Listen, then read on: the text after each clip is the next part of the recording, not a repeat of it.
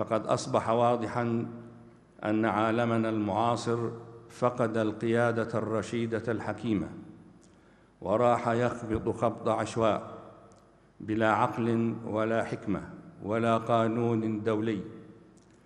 وبات يندفع بلا كوابح نحو هاوية لا يعرف التاريخ لها مثيلا من قبل.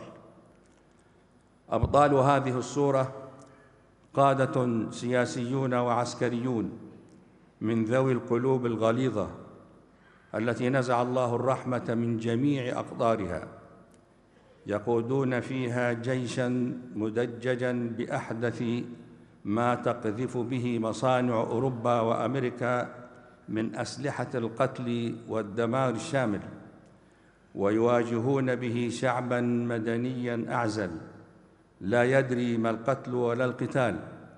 وليس له عهد من قبل بسفك الدماء ولا بمرأى جثث الأطفال والنساء والرجال والمرضى وهي ملقاة على قوارع الطرقات أو مغيبة تحت أنقاض ومبان مهدمة في الأزقة والحواري.